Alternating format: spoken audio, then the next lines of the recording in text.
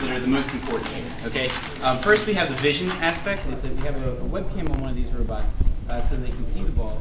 Um, and then we have the locomotion part so that the robot can actually walk.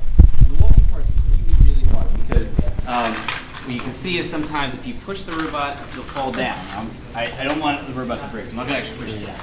So you have to make sure that the robot, you know, is, is uh, standing up at all times. Does fall down. a very robust get up routine, so they can get up from the from the back, and can get up from the front.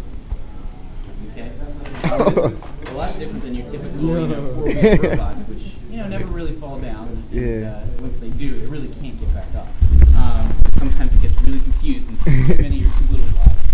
Um, it, it, all these blocks, and looks at these, which one is the most circular. So you can imagine that the piece is like really, you know, oblong tall. Yeah, it's really not- tall, yeah. It's gonna be oblong the other way. It's not blocked.